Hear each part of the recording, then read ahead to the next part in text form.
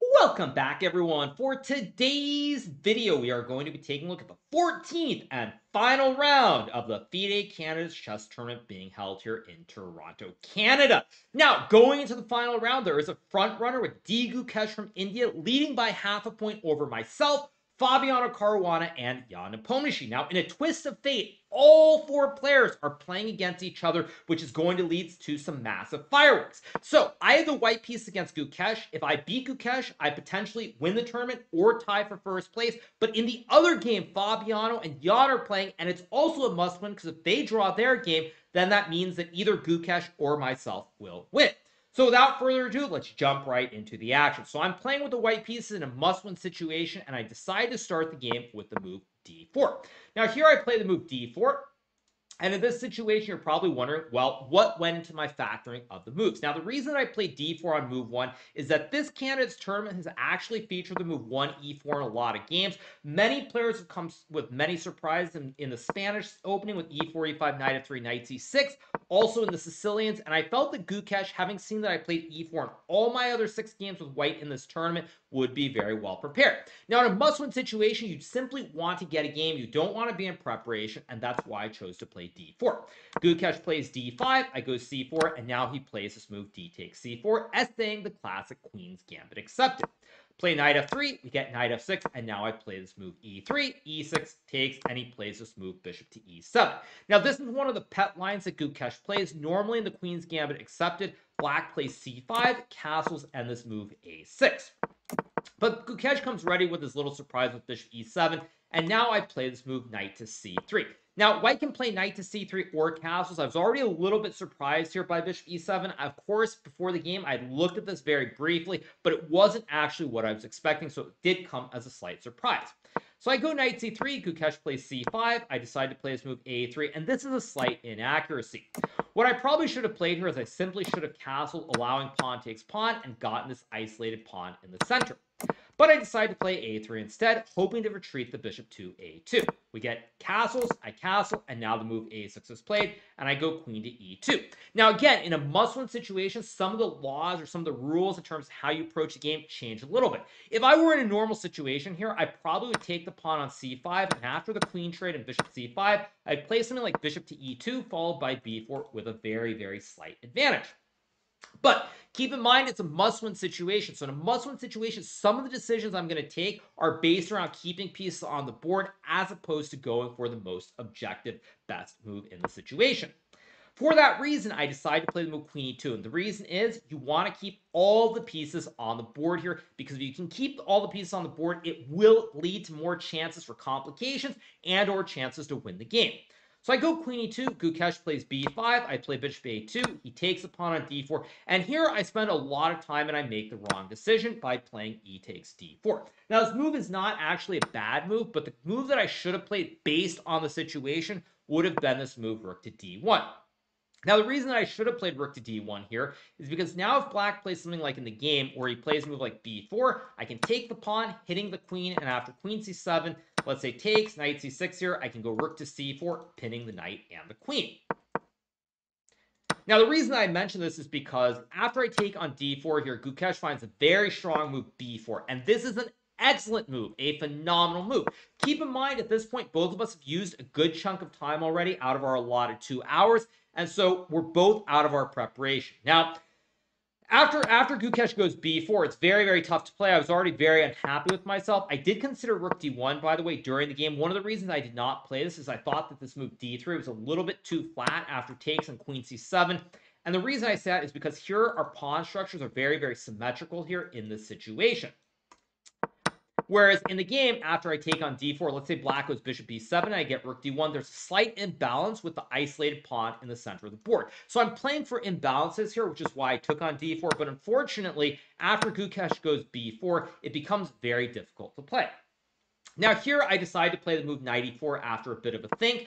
I could have taken the pawn on b4, but after knight c6, developing the knight and hitting both the pawns on b4 and d4, black is already completely fine because after rook d1, knight takes pawn, bishop c4, and bishop b7, black is going to blockade this isolated pawn on d4. And even though white is not worse here, the chances of creating an imbalance and winning the game are very, very low. So for that reason, I decided to play the move knight e4 instead. Gukesh takes on a3, and now I play this move b takes a3. Now this was a situation where I was really unsure what I'm supposed to do. Should I try to play solid, keep the game going? Should I go all in here? What is the right decision?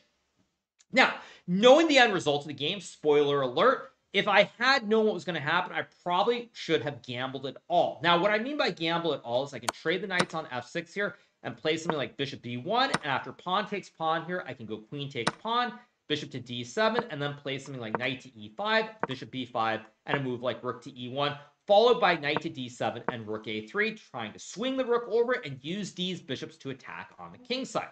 Now, if I do this, there's a very, very good chance I will also lose the game because after takes, bishop to e7, rook to h3 and g6 here. Black is actually simply up a pawn on the queen side. He can bring the rook to c8, and in general, it's very, very hard to play for white.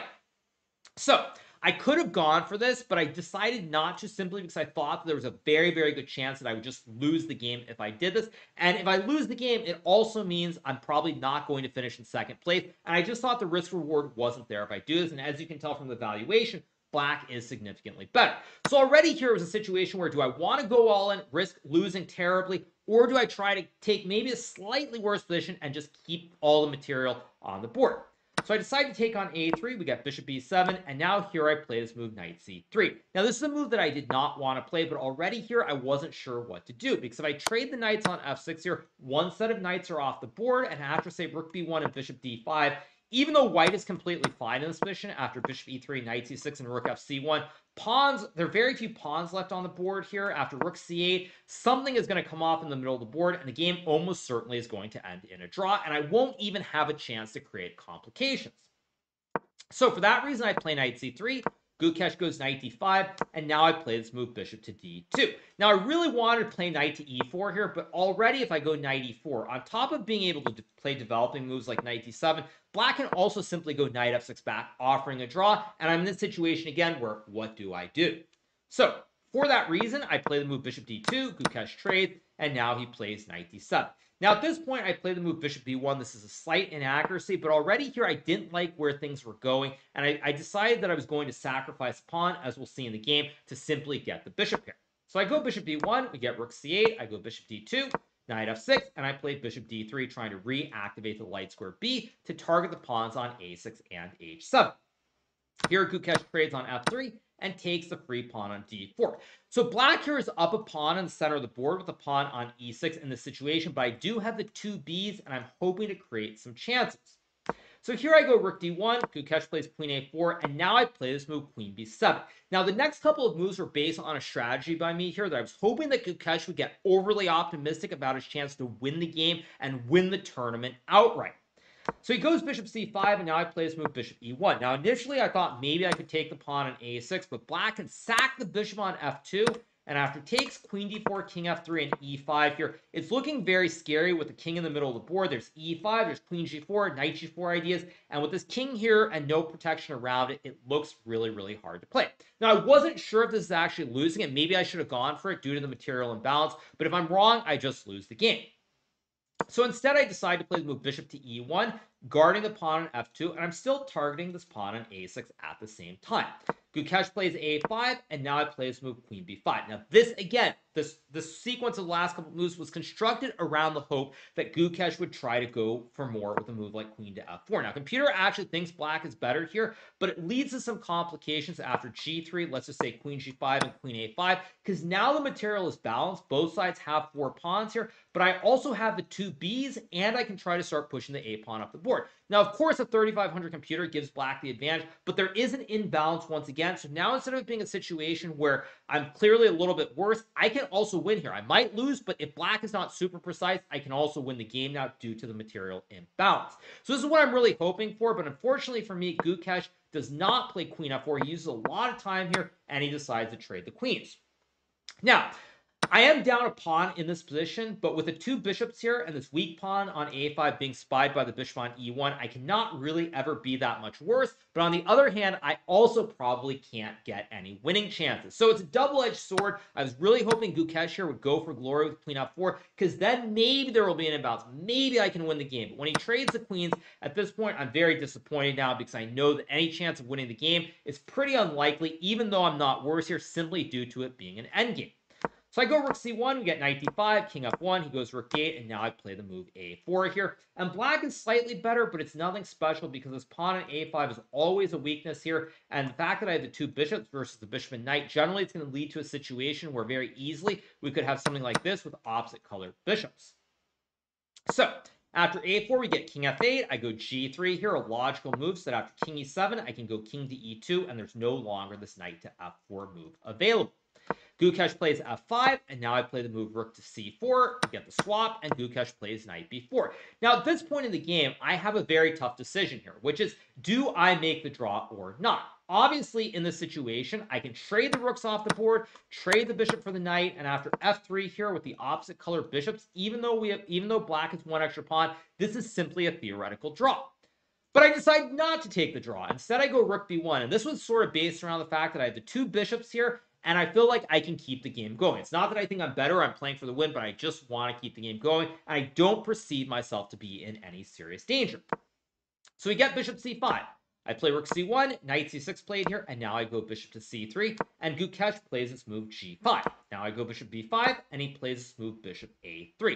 Now this move is not wrong by any stretch of the imagination, but it starts to give me some very, very faint glimmers of hope, because after rook to c2, knight d4, swap, and rook c7 check, and rook h7. Now suddenly we're in a situation where we have opposite colored bishops, but both sides have the same number of pawns. So somewhere around here, I'm starting to think maybe Gukesh is getting nervous. Maybe, just maybe I'll get some small chance to play for more.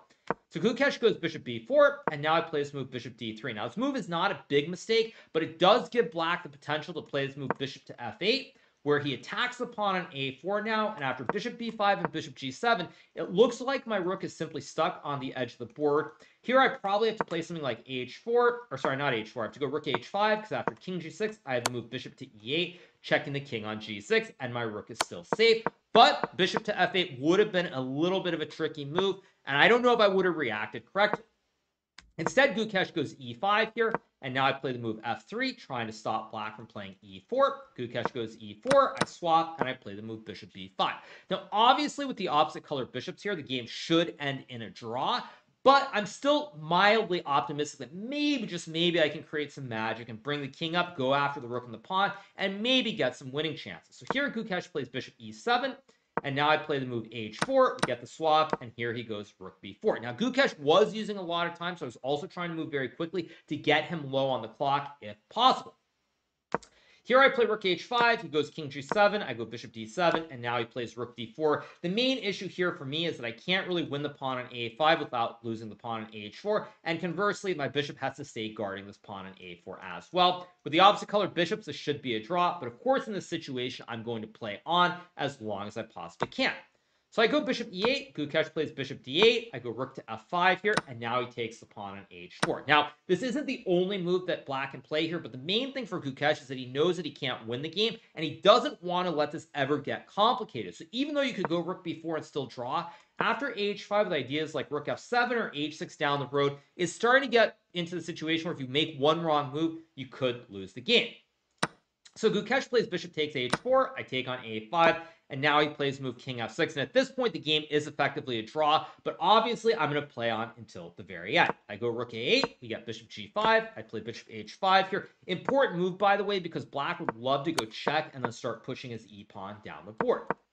So I play bishop. So here I play the move bishop to h5, rook d2, and king f1. Idea is quite simple. I want to put the bishop on e2 and then start pushing p with a5, a6, a7, and try to get a queen and try to get a miracle win.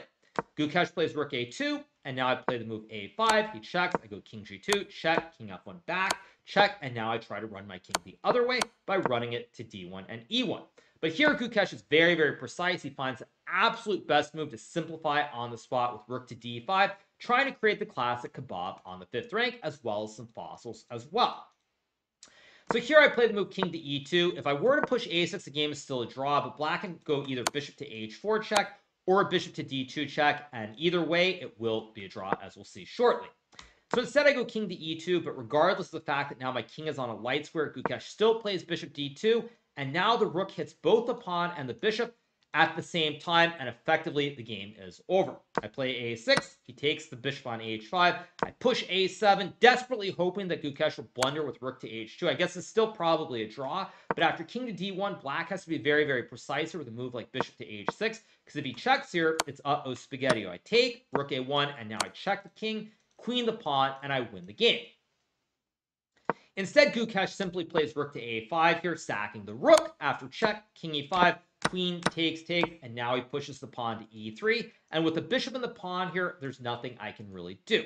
I can try to move the king up, but black will just move the king all over the board. The bishop always guards the pawn. I can't ever really let my king get too far away, because if I go d4, there's just e2, e1. So for that reason, I decide to call it a day. I play I play rook to a4. He goes king d5 king d3, king c5, rook e4, king d5, and now I sack the rook, and all the pieces come off the board, and the game ends in a draw. So, while I would like to be very disappointed about this game and, and perhaps not having the chance to or, or not winning it, I can't be super unhappy because at the end of the day, I spoke about this many times throughout the tournament. The candidates is a tournament of opportunities, and you really must seize the opportunities when they present themselves. And today, there was no opportunity. When Gukesh played this opening and found the move b4 on, I believe, move I'm scrolling back to find what move it was. It was move number 11. This was an excellent move by Gukesh under ner- under pressure, feeling some nerves, and also being in a situation where he was not in his preparation. He found this very, very good move. And after that, I never really had any opportunities today. So as unhappy as I would like to be or disappointed about it, I really can't do much because my opponent simply played a great game. So I do tip my cap to Gukesh for playing a fabulous game, controlling his nerves. He is a mere 17 years old, played fantastic throughout the event. And I am not actually going to recap the other game, but in a shocking turn of events, Fabiano Caruana and Jan Nepomniachtchi drew their game as well. That was a game where Fabiano was winning multiple times, at least on five or six occasions. He was completely winning. He was unable to put that game away. Jan survives probably the fourth or fifth time in the tournament and makes a draw. It's a crushing draw for Fabiano, as that means that D. Gukesh is the winner of the Candidates tournament at 17 years old. Very, very deserved winner. He played great throughout the event. Once again, I applaud Gukesh for a fantastic event. I'm a little bit disappointed that I didn't I didn't have a chance to win the event today, but nonetheless, I'm very proud of the way that I played throughout the event. After losing a very, very brutal game in the second round of the event, I very easily could have fallen apart and simply had a vacation for the last half of the tournament. If I had lost another game or two, the last probably four or five games, I would have been out of contention and it would have been an unfortunate vacation. But I really kept it together well after that second game. And I was in the running where I had a chance today to try and win the whole thing with the white pieces. So while I'm a little bit disappointed, my opponent played very well, and that's kind of how life goes. So on that note, I hope you guys have enjoyed this recap from the 14th and final round of the FIDE Candidates tournament here in Toronto, Canada. If you're not already subscribed to my channel, make sure that you smash that subscribe button below. And that's going to be it for today. I'll be playing some tournaments very soon. I'm playing a tournament in Casablanca, Morocco in about two weeks with Vishy Anand, Magnus Carlsen, and Amin Bassem. And then after that, I will be playing Norway chess. So there will be a lot more recaps in the near future. But I really, really do hope you guys enjoyed the recaps from this tournament. I gave it my all. Wasn't meant to be, but I still had a blast and I was very competitive, which is really all that I was hoping for from the start. So on that note, I'll see you guys soon and enjoy the rest of your day. Have a good one. Bye.